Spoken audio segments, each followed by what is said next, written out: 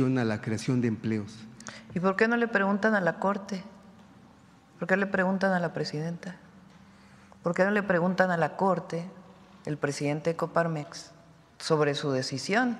O sea, porque quienes están violando la Constitución es la Corte, quienes están sobrepasándose en sus funciones es la Corte. Entonces, ¿por qué el periódico El Financiero, Coparmex o no le pregunta a los ocho ministros de la Corte si ya sopesaron bien su decisión, si ocho ministros pueden ir en contra de millones y millones de votos, por ahí de 36 millones. Si ya preguntaron a la Corte si puede ir en contra del constituyente. ¿Por qué el tema es de la presidenta? Cuando es la Corte quien está queriendo legislar, cuando no tiene esas funciones en la Constitución.